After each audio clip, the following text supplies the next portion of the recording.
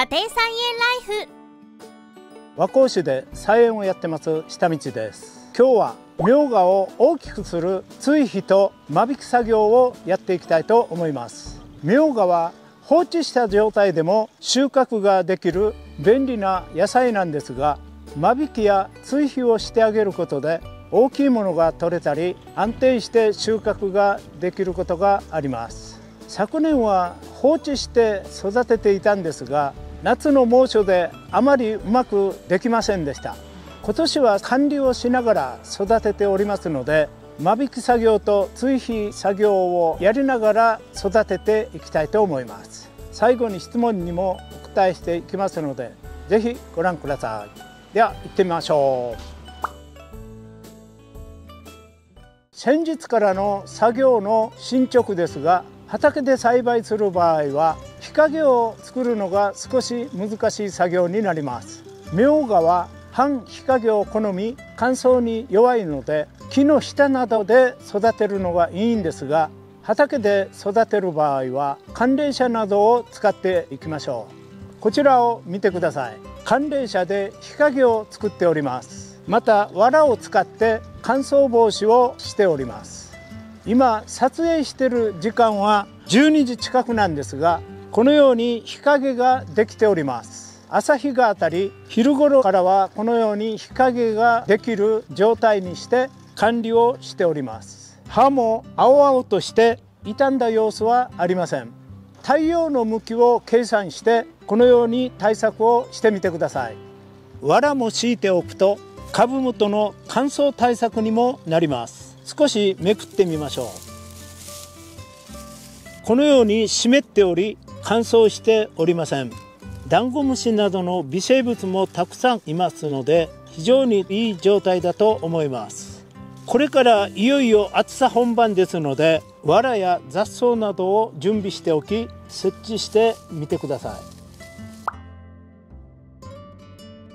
それではまず間引き作業からやっていきます。このまま放置した状態でもいいんですが茎が大きくなって地下茎が伸びすぎてみょうが自体がうまくできない可能性があります。育ちが悪い芽をカットして栄養が分散しないようにしていきたいと思います。株間が7、8センチになるようにカットしていきましょう。こちらを見てください。こちらは3、4センチしか離れておりません。一方は大きく一方は小さいのでおそらく同じ地下茎から根が出てると思いますのでこちらをカットします。このように近くてひ弱なものからカットしていきましょう。大きいものの真横あたりに生えてくるものは同じ地下茎から出てきておりますので小さいものが複数出てきたらカットしましょう。この辺も混み合っております。みょうがは半日陰を好みますが通気性が悪いのはあまり好みではありません。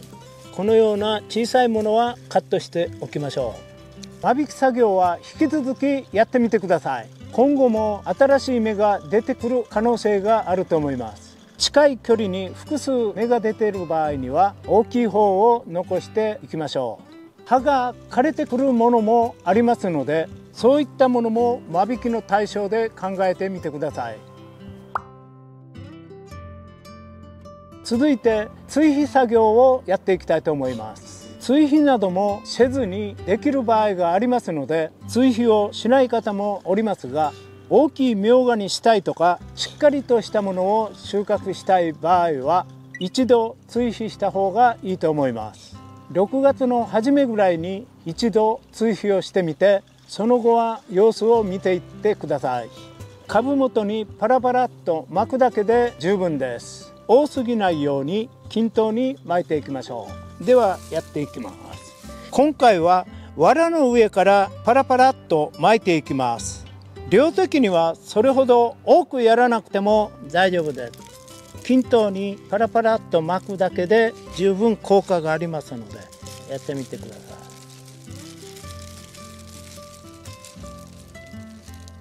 まんべんなく巻いていってください。少し乾燥もしておりますので水を与えていきます。みょうがは乾燥させると育ちが悪くなりますので乾燥させないように定期的な水やりが必要です。追肥には注意点もありますのでご紹介します。一つ目は量が多くならないことです。量が多いと害虫の被害が出てきたり葉ばかりが大きくなってみょうがが太らなくなってきます。特に窒素型には注意してみてください。2つ目肥料が根に触れないように注意してみてください。今回は藁の上に巻いてますのでじわじわと効果が出てくると思います。鶏粉なので問題ないと思いますが化成肥料などを使っている方は要注意です。分解の時に熱が発生しますので株元に巻いてしまうと根が焼けてしまうことがあります。しっかりと土をかけて株元から少し離れた場所に追肥をやってみてください。追肥をした後ぐんぐんと大きくなっていくと思いますので様子を見ながら背丈が大きい場合は土寄せなどをして倒れないよう対策をしてみてください。追肥は23度やる方もいらっしゃいますが鶏粉の場合は一度やっていただければ長く効果が持続しますので6月の初めぐらいの1回で十分だと思います。是非試してみてください。それでは質問コーナーです。こちらの大玉トマトの動画にコメントをいただきました。大玉トマトは甘よけしますか？というコメントをいただきました。大玉トマトはより雨よけの効果があります。一般的には見割れをしやすいと言われております。雨に当たりますと皮が弾けて割れてきます。雨よけをした方が見割れがしにくくなりますので試してみてください。雨よけをしてないがために雨水等が浸透してトマトの吸水力が高まり過半無になる可能性があります。石灰分を吸えませんので尻腐れ症等も発生しますのでできる方は雨よけをして栽培した方がいいと思います。病気予防にもなります。注意してください。今日はみょうがの間引きと追肥をやっていきました。この動画が面白かった方はチャンネル登録といいねボタン押してください。ではまた。バイバーイ。